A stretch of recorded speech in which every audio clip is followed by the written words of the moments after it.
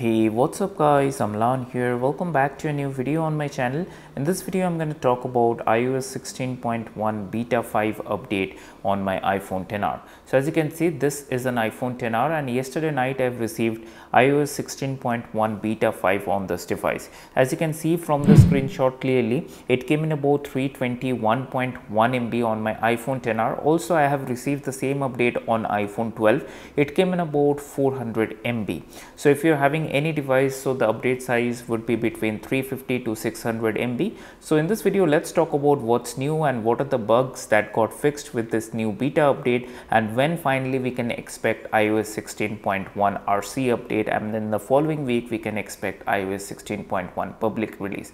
So make sure to watch this video till the end but before that if you're new here and happen to enjoy this kind of videos on my channel do give this video a thumbs up and also consider subscribing to the channel. Now with that being said let's get right into the video. Alright guys so the first things first let me go to the settings general if I go to the about section and click on the iOS version so as you can see the new build number is 20B5072B. So the letter B in the end it definitely means that that we are getting more close to the public release so probably next week we would get to see the iOS 16.1 release candidate and then the following week we can expect iOS 16.1 public release.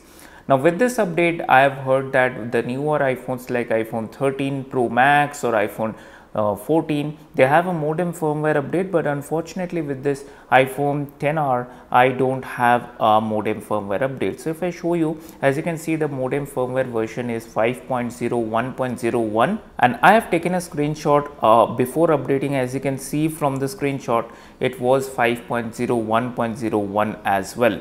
Also i have checked on my iphone 12 there is no modem firmware for iphone 12 as well. So for both the iphone 12 and iphone 10r I did not have a modem firmware but if you are having any other iPhone please do check you might have a modem firmware update. So now many of you were asking me how to get this update. I tell you this on every video. If you are receiving and beta updates that means if you go to VPN and device management you have a profile installed which is iOS 16 beta software profile.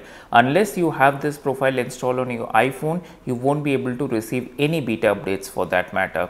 Now what's new with this update? Uh, I actually gone through the release notes because I couldn't find any new features or any new changes.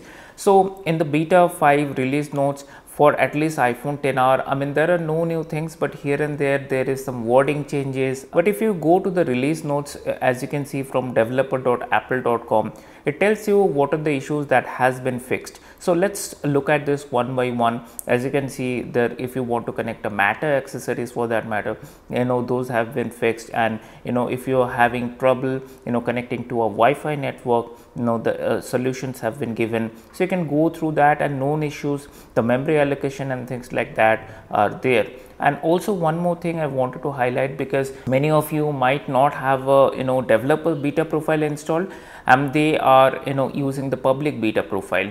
Now if you're using a public beta profile at the time of recording this video and at the time when you're seeing this video you might have gotten the update but you know when apple releases a new beta software they give it to the developers first and then they release it for public. So that's the thing. So first they release it to the developers and then after few hours they release it for public. If I talk about the battery life, I don't use this phone as my primary phone. So whenever I do a battery and follow up and performance review, I include iPhone 12 because that is the phone I use day to day basis. And if I talk about still the battery health and charging settings, as you can see the battery health hasn't dropped after updating to iOS 16.1 beta 5. Now, if you talk about the performance, performance in general is okay. I noticed some lag here and there, but that is usual with iPhone 10R at this point, I would say.